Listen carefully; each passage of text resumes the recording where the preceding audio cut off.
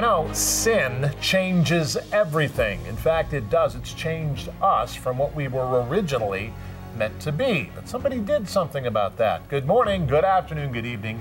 My name is Rod Hembree. And I'm Janice. And this is Bible Discovery TV Quick Study as we study the Bible from Genesis 1 to Revelation 22. We do that every day. And today we're looking at Luke chapter 7. What a good read. This is amazing. So, Ryan, what's up? Well, today I'm studying the life of the disciple whom Jesus loved, John.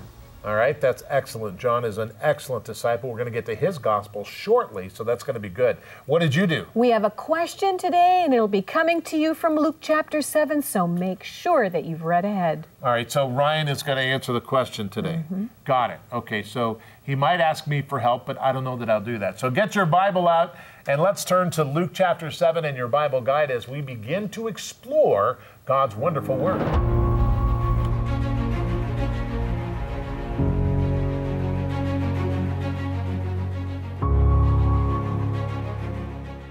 Luke chapter 7, verses 1 through 10. Now, when he had concluded all his sayings in the hearing of the people, he entered Capernaum. And a certain centurion's servant who was dear to him was sick and ready to die. So when he heard about Jesus, he sent elders of the Jews to him, pleading with him to come and heal his servant. And when they came to Jesus, they begged him earnestly, saying that the one for whom he should do this was deserving. For he loves our nation and has built us a synagogue. Then Jesus went with them. And when he was already not far from the house, the centurion sent friends to him, saying to him, Lord, do not trouble yourself, for I am not worthy that you should enter under my roof.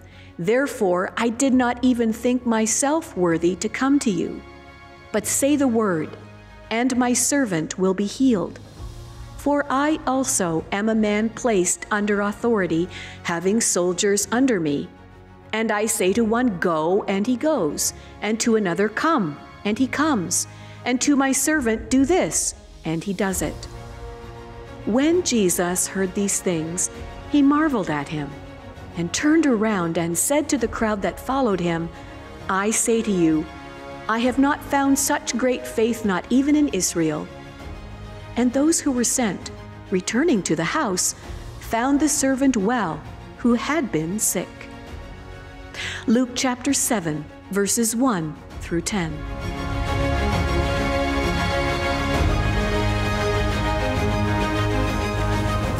I have a question for you. What happens when we, you and I, face trouble? Do we panic? Oh no! Or do we pray, oh God? Or do we do both? Now, when the centurion, and that is a Roman term, heard that Jesus Christ was near, he took action and sent some of the elders of the Jews to Jesus to plead with him to come and heal his servant. That's incredible. A centurion did this. Now, he's not mentioned by name, but we do know that the centurion was a man who cared for the people of Israel and did well for them. He was respected by both the local priest and the Levites. Luke chapter 7 tells us that the centurion was so well respected Here's what they did the elders pleaded earnestly with Jesus on his behalf. How interesting to find such a man in the ancient Roman Empire. His faith and belief in the work and the authority, the authority of Jesus Christ was astounding. In fact, uh, Jesus told the crowd, He said, I say to you, I have not found such great faith, not even in Israel. Luke chapter 7, verse 9. Now, as we look at this, it becomes striking and we begin to explore this story. And there's only really one way to title it Show of Faith. That's what we're talking about today. We look at Luke chapter 7. This, this is an amazing image of faith from a person who's not even Jewish, not even part of their culture. But he has a connection with God somehow through his Jewish friends. He knows that there's got to be something out there. And this connection with God pays off in many ways as he knows Jesus Christ is from God. Now, the Pharisees and the Sadducees, they're arguing about it. He's not arguing. He sees authority when he sees the power, and he sees the power. He knows it. So get your Bibles and turn to this particular passage and get your Bible guide, turn to today. And if you don't have a Bible guide, why not? You can write to us or you can uh, call us if you want to. Uh, and uh, my advice would be sim- simply send the, whatever you can, whatever God speaks to your heart, pray about a gift and send that. And um, also go to BibleDiscoveryTV.com, new website. I'm really excited about it uh, because it's really cool. A new website, and uh, you can click on the Bible guide and get your copy there by making a donation as well. You can get it right away there. And uh, it's very important. Now, now, we need to pray and ask the Lord to show us all of these things so that we can see in our hearts what He's doing. Father, I pray, help us to see you. Now, I know there's, you know, we've got Facebook and we've got, you know, Instagram and we've got all this other stuff around here and around there and Twitter and everything else. And, and, and but we need to stop. We need to shut everything off. And we need to listen to you. We don't need to be interrupted. We need to listen to you just for a few minutes. We need to listen to what God says to us. Help us to do that. Help us to take what's in here and apply it to our heart, not apply what's in here to that.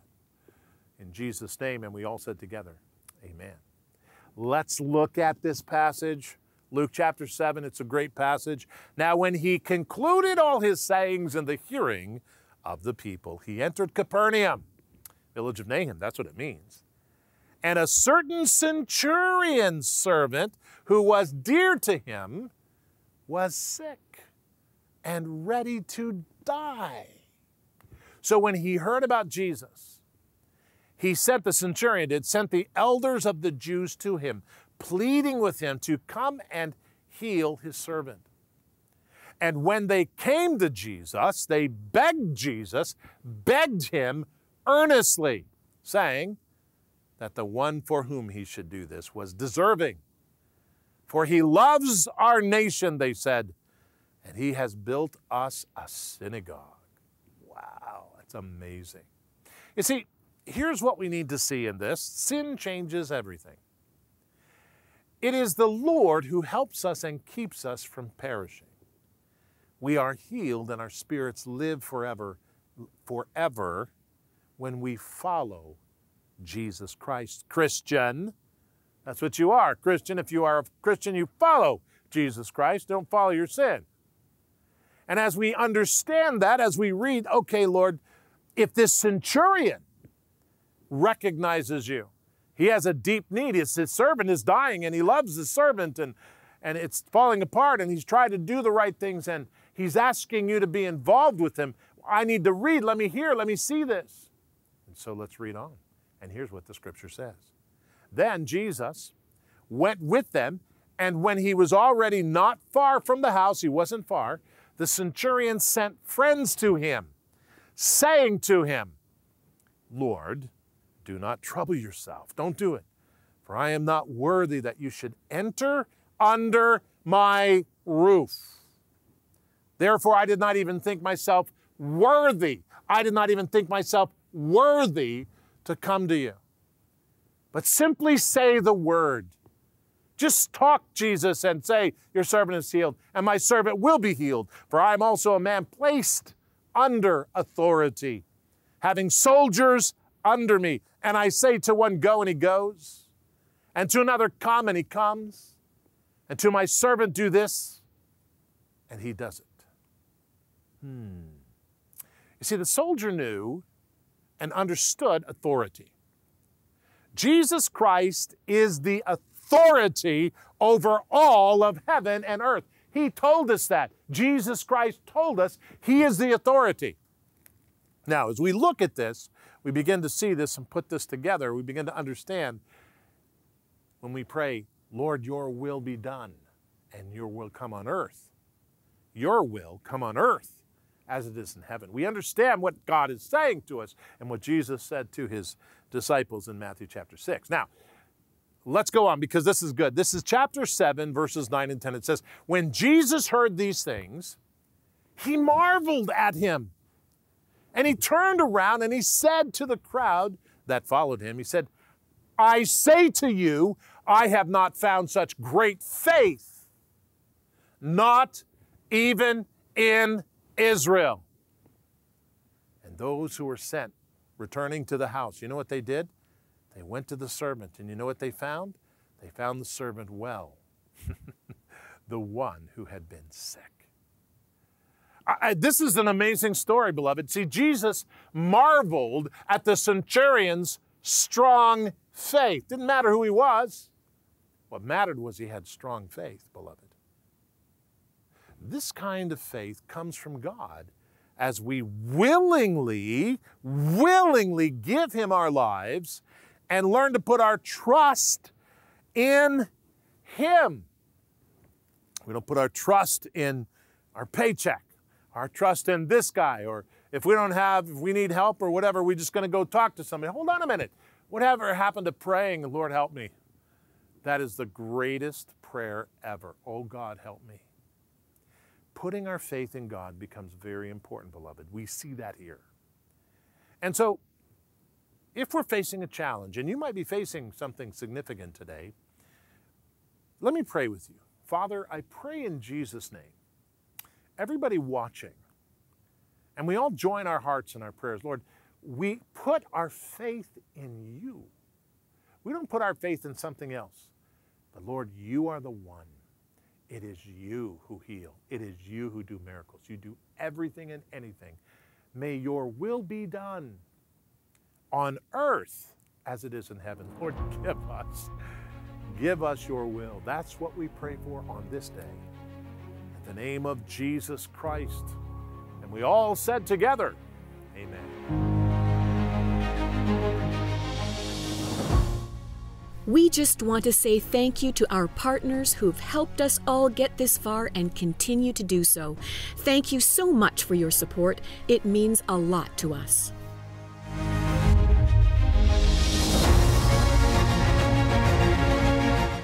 Herod the Great was just called King Herod during his lifetime, but I'm sure he'd be very pleased that history remembers him as great. Herod seems to have been obsessed not only with keeping his power, but growing it and causing it to last well beyond his death.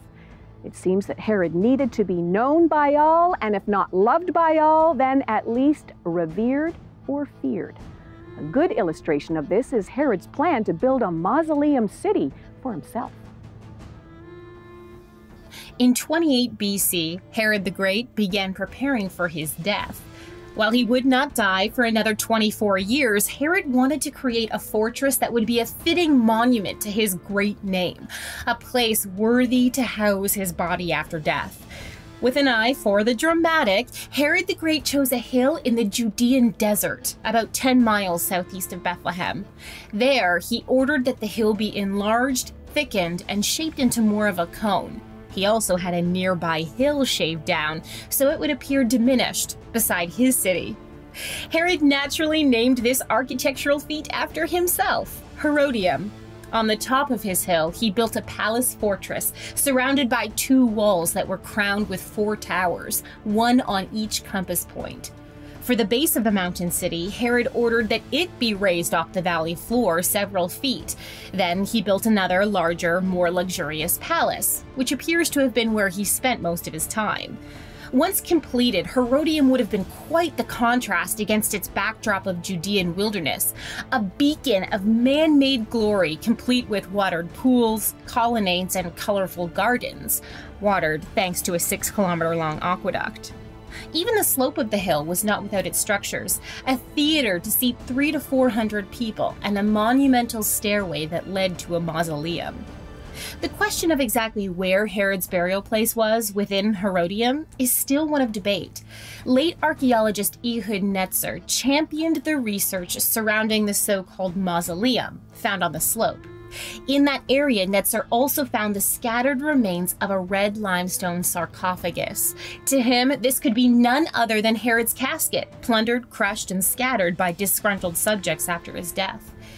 To some, however, the monument on Herodium Slope does not seem to match Herod's over the top personality.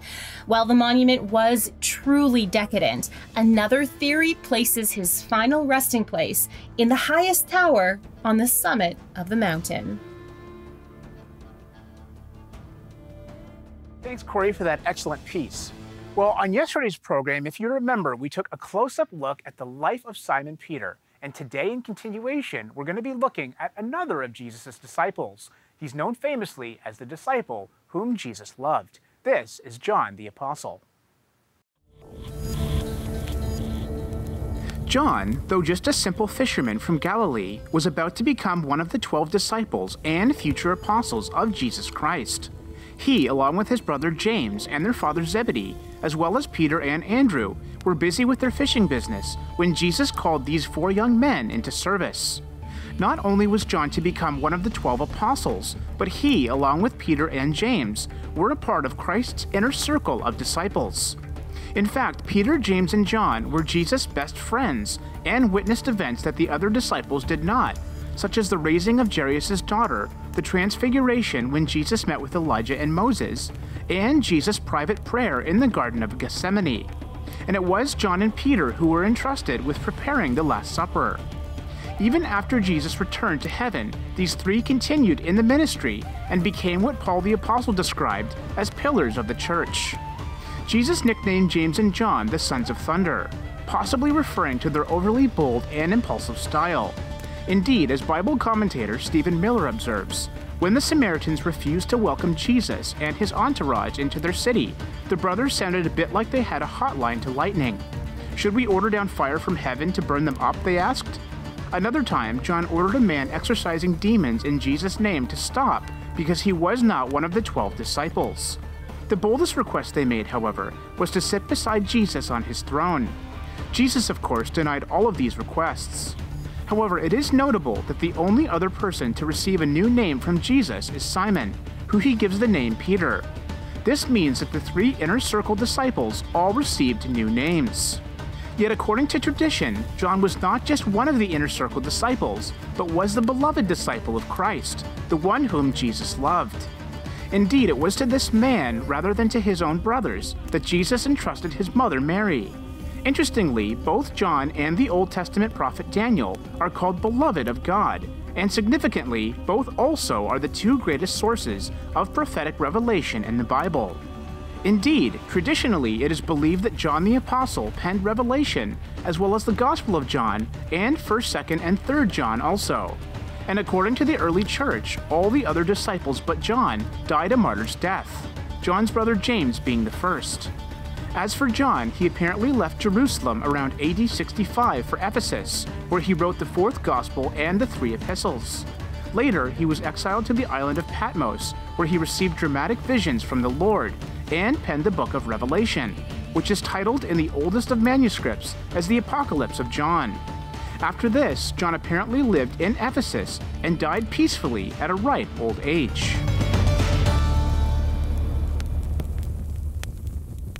Like all of us, John was a human and so he had his downfalls. But ultimately, he was loyal and was one of Jesus Christ's best friends and would be later described by Paul the Apostle as one of the pillars of the church. That's in Galatians 2 9, by the way.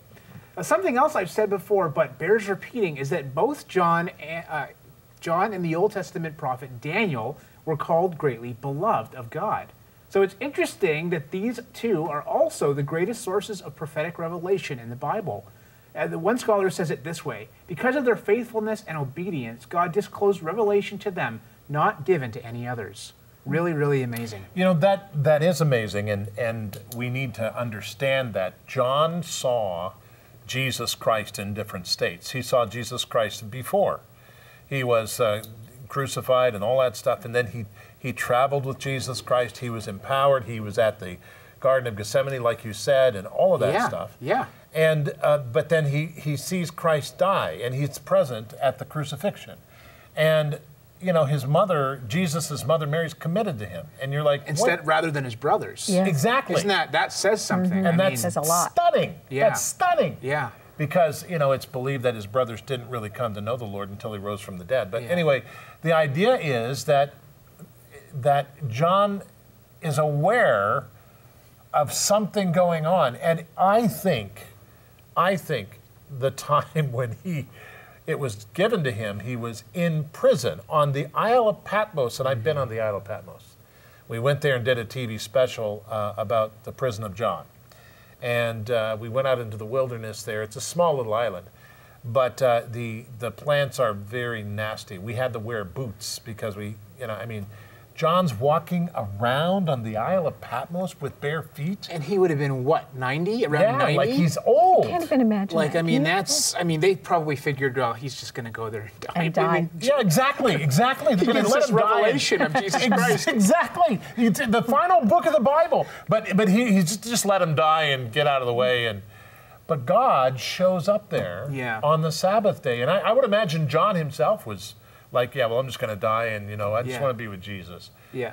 But God, like a trumpet behind him, shows up and says, "Excuse me, John." Yeah. pay attention. Yeah. Write this down for the churches to see it. And John's like, what? you know, it's like, Yeah. what's going on? And suddenly, heaven is exploded to him, and he sees everything. He sees it, and he can only describe it based on his mind. And there's a lot of things described in Revelation that are based on his mind. But it's important to remember that he sees Jesus Christ, and then he comes out of that revelation, and tradition says, not the Bible, but tradition says he goes back and he ends up in Ephesus. Hmm. And he's in Ephesus. And they're carrying the church. And all he can say is, little children, love one another. Hmm. That's his last words to the church. Love one another. It's amazing. You know, and we see early in his life he was one of the one half of the sons of thunder, Yeah. right? Yeah. You know, uh, but but he calms down later in life and isn't that interesting? Yeah. You know, as he after the after the crucifixion. yeah, as he, you know, he is in a relationship with Jesus Christ, and even after mm. Jesus raises and ascends, mm.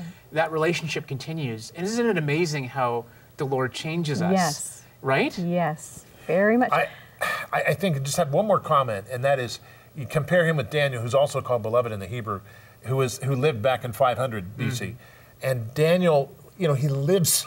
First of all, he's a priest. He's supposed to be at the temple, but they take him out of there, and you know, we don't know, but suspect that he's castrated and all that because of working in in the uh, temple with Nebuchadnezzar and all that. But he goes through Nebuchadnezzar. He goes through all of these kingdoms, and you know, at the end of his life, he's given a revelation. This is what's going to happen. But you don't really know what happens to Daniel because he, he just dies. And John, it's the same way. So this is amazing, the beloved of God. Well, and I think too, uh, as you were saying, you, you can see the, the personality of John change. And I think John was a people person.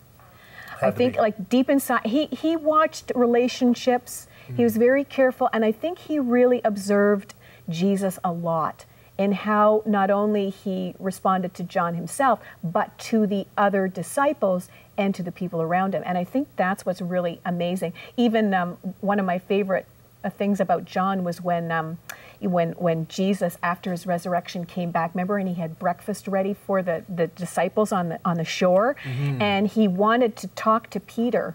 And, and really he was he was drawing from Peter Peter do you do you love me and, and, he, and he brought that back because Peter had denied Christ three times, and, and Jesus made a way for Peter to kind of come back and say, Yes, I love you three times. But Peter looks back and he sees John coming, and he's kind of like, Man, like Jesus. Why is he here? Why, eh, can, can this just be a moment between us? And, and Jesus basically said, Don't worry about it. It's okay.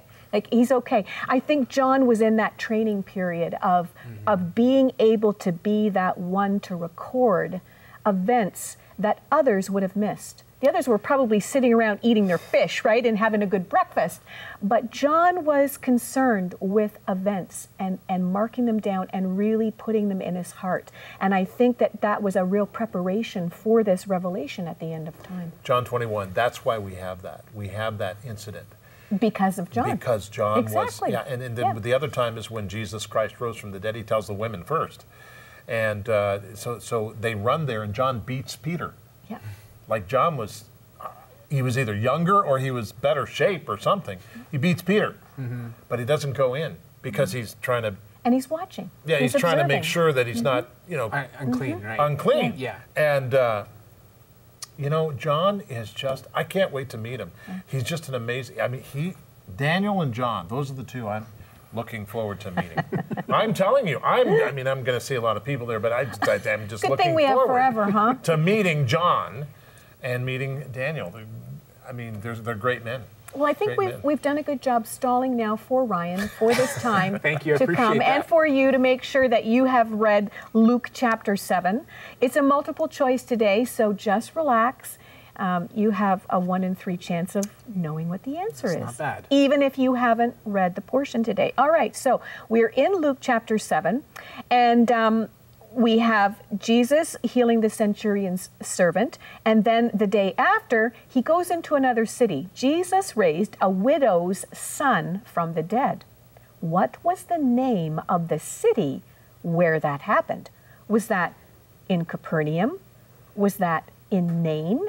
Or was that in Gennesaret? Hmm. Where would that be? Ryan, what do you think?